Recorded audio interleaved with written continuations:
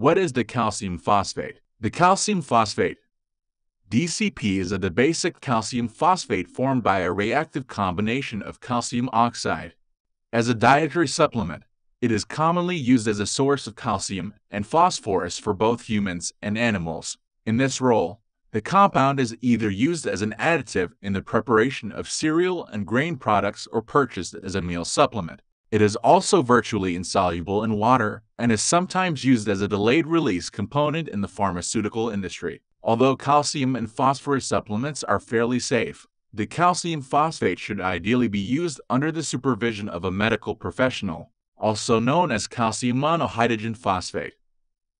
DCP is typically encountered in a dihydrate state with a chemical formula of Ca. Dihydrate refers to an additional two water molecules present in the formula, which may be removed by thermal conversion to produce the anhydrous equivalent Ka-HB offer. In this desiccated state, it contains approximately 23% calcium by volume making it an excellent source of the mineral. DCP is typically presented as a white or off-white free-flowing crystal. The compound is almost completely insoluble in water with typical absorption levels of 0.2 grams per 100 milliliters or less. Dicalcium phosphate is widely used as a dietary additive and supplement for calcium and phosphorus. As an additive, it is included in the production of enriched grain products such as flour and maize meal, in breakfast cereals, pasta, and in many animal products such as dog treats. It is also available as a direct meal supplement for both human and animal consumption. In this format, the compound is available in capsule or tablet form and typically as part of a wider spectrum of trace minerals.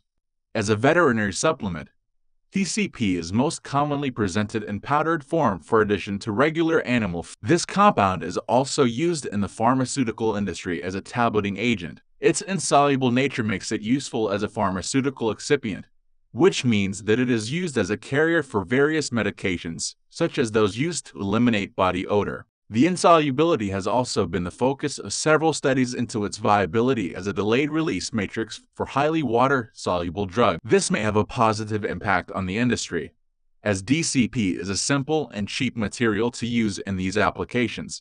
Due to its fairly high concentration of calcium, dicalcium phosphate should be used with caution by breastfeeding mothers and those suffering from lung diseases, parathyroid disease, diarrhea, or kidney stones. Overdose symptoms include nausea, vomiting, stomach pain, thirst, and a dry mouth. As with most supplements, a healthcare professional's advice should be sought before taking it. Users should also inform a medical professional of any prescription medication they are taking, as DCP may have an adverse interaction with some drugs.